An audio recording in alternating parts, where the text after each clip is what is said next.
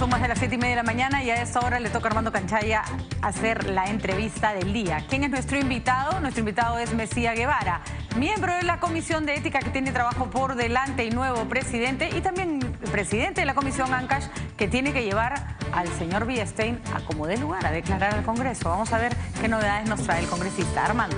Muy bien, Patricia, gracias. Gracias. Bueno, ya que Patricia lo mencionó, Correcita, ¿cómo está? Buenos días. Buenos días, hermano. ¿Cómo va eso del señor Villestein? Bueno, el señor Villestein es un tema que nos ha enviado una carta la semana antepasada, para ser exactos, el martes. Nosotros sesionamos los martes de 5 a las 7 aproximadamente, a veces hasta las 9 de la noche, y curiosamente a eso de las 3 de la tarde nos llevó una carta enviada por él. Eh, no tuvimos tiempo para ver su carta, porque se presentó en ese momento el presidente del Consejo Nacional de Magistratura, Jorge Talavera, y acabamos muy tarde. Entonces, hoy en la tarde vamos a poner eh, a consideración esa carta que nos ha enviado.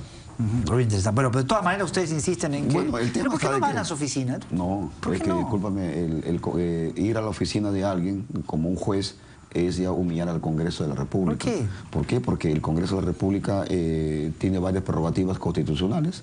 Eh, podemos dar esa diferencia al presidente. Supremo pues tiene las mismas prerrogativas que ustedes. No, no, no tiene prerrogativas. Según la Constitución... Eh, ¿Tiene, por ejemplo, el antejuicio? No, no antejuicio sí tiene. Ah, pues. Eso sí, pero no tiene otras prerrogativas. O sea que yo no... Yo, si yo hago eso...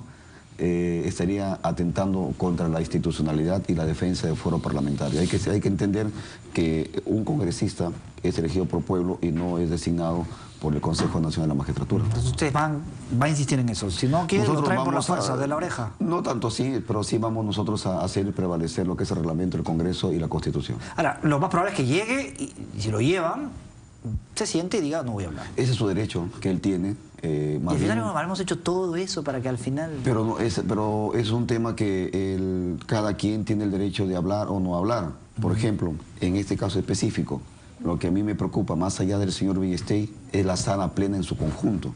¿Por qué, Armando? Ellos el año pasado, en diciembre, tomaron un acuerdo de no ir al Congreso de la República y ese mismo acuerdo lo ratificaron el 22 de enero de este año.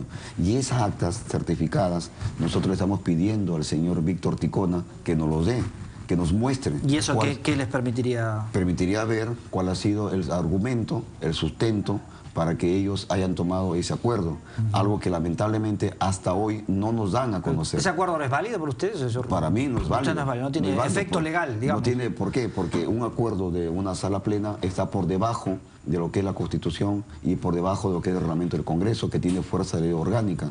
Por lo tanto, ese acuerdo, ahora que estamos acá en cámaras, a través de tu persona y de Radio Porama, le pedimos públicamente al señor Ticona que nos dé esas actas certificadas de, esas, de ese, acuerdo. Ah, hay, otra cosa que, eh, tengo aquí como dato, que van a investigar a Luz Marina Guzmán, la integrante del Consejo Nacional de la Magistratura, por ser la única representante que votó en contra de la destitución de Carlos Ramos Heredia. Hay que aclarar ahí.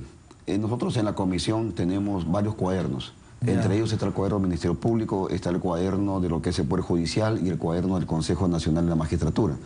Eh, ahí hay una desinformación. La señora Luz Marina eh, Guzmán ya viene siendo investigada de mucho tiempo atrás. Ah, ya. O sea que no es porque sea por el voto. Ella viene siendo investigada. ¿Y por qué está investigada? Incluso ella fue citada a la comisión ella estuvo inmersa en un proceso del eh, tema de su nombramiento, de la famosa, fue acusada por firmas falsas para poder llegar al Consejo Nacional de la Magistratura. Y es ahí que nosotros... ¿Y eso tenía que ver con el caso Ancas también? Eh, claro, caso Ancas también, porque ella, eh, todo ese tema se vino envuelto en la región Ancas. Entonces, no es que por su voto eh, contra el señor Ramos Heredia o a favor de San ya, no parecería el colmo, ya usted ya parecería un torquemada. No, no, ah. hay que aclarar que la Comisión ANCAS está actuando en este caso con absoluta transparencia. Incluso, por ejemplo, el señor Peláez, que también está siendo investigado por nosotros. El señor Ramos Heredia, que también está investigado por nosotros. Por eso yo, eh, cuando me preguntan a mí sobre su destitución, le digo que a mí no me alegra ¿Por qué? Porque simplemente nosotros seguimos en una comisión investigadora en la que no podemos adelantar opinión ni levantar la reserva de la investigación misma. En estos momentos el señor Ramos Heredia sigue siendo investigada, investigado por así haya sido destituido por, la, por el. Consejo Nacional. No vaya a ser que la, consejera diga, mire, me, van a meter en un lío solo porque no aprobé el... No, no, ella, sabe... Para usted, ¿qué, digamos, denota esta, este voto Bueno, yo no quisiera adelantar la opinión porque es un voto que me imagino responde a su criterio de conciencia que ella ha tomado. El voto es un voto personalísimo que ella misma debería de explicarlo. Eh, en lo personal yo no quisiera tampoco referirme a su voto para que no se malentienda de que estamos investigándolo por ella. Ella sabe por qué la estamos investigando porque incluso... Pero ella podría decirme, me están investigando ahora... Bueno, eh, sí ella puede decir cualquier cosa, pero yo estoy manifestando de que ella... ¿Usted cree que el voto puede tener relación con esto, con el caso?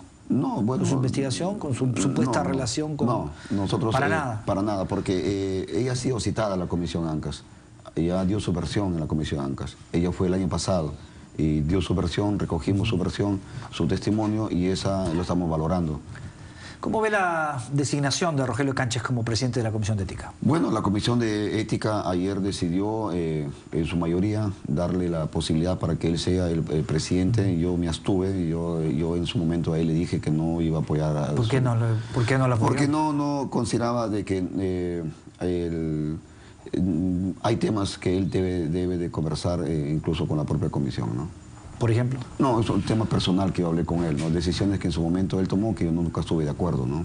Pero digamos, es un asunto, no es un asunto público, es un asunto personal, que es vida privada, en la, que en, la, en la esencia, en la esencia son decisiones que él tomó cuando fue miembro de la Comisión de Ética y que él... Son votos que él emitió. Votos que él emitió. Que, usted no le parecieron. Que nunca me parecieron. Y él lo sabe. ¿Y eso hace que él no sea idóneo para el cargo? No, yo no he dicho que no sea idóneo. Solamente que tengo, me guarda la reserva de la actuación. Ahora lo que en futura, yo espero que él haga una buena gestión como presidente y yo tengo la obligación de apoyar para que él haga una buena ¿Pero gestión. duda usted de que...? No dudo, pero sí tengo las reservas, digamos. Ajá, ya, que no es lo mismo. No es lo mismo.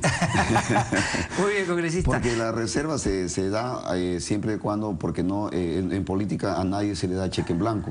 Entonces es bueno que él sepa que por lo menos en la comisión eh, de ética hay alguien que va a estar a la expectativa de su actuación. ¿Qué voto, por ejemplo, no le gustó de Rogelio Cánchez? Prefiero no decirlo para no herir susceptibilidades y abrir otros, otros temas que, que ya están enterrados.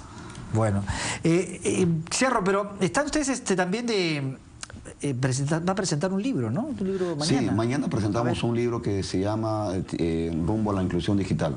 En este libro se recoge las diversas iniciativas legislativas que yo como congresista he impulsado caso ley de banda ancha, caso ley de competencia de telefonía móvil, caso telemedicina, caso de alfabetización digital, caso también el tema del gobierno electrónico y por supuesto algo muy importante que es el tema satelital. Eso mañana vamos a presentar, por cuyo objetivo de estas leyes son disminuir la brecha digital. Se habla mucho de lo que es el tema de exclusión social, de inclusión social, pero hay algo muy importante que es la parte digital. Nosotros hoy estamos viviendo en la sociedad del conocimiento en la que es necesario, imperativo, de que todos los peruanos tengamos la oportunidad de poder acceder a la información y al conocimiento. Y hay millones de peruanos que no tienen esa misma oportunidad que los que vivimos en las grandes ciudades. Asimismo también para este libro hemos invitado a 12 personalidades del país, expertos en el tema. Por ejemplo, eh, ha escrito en el libro el señor Cucho de la OMPE sobre voto electrónico. Ha escrito el ex viceministro eh, Pérez Reyes de Telecomunicaciones sobre la red NACE, la red nacional del Estado y así por, decir nombres que han participado en este libro. Muy bien, bueno, muchas gracias, congresista. Gracias, gracias por la invitación. Siempre un gusto tener al congresista Mesías Guevara.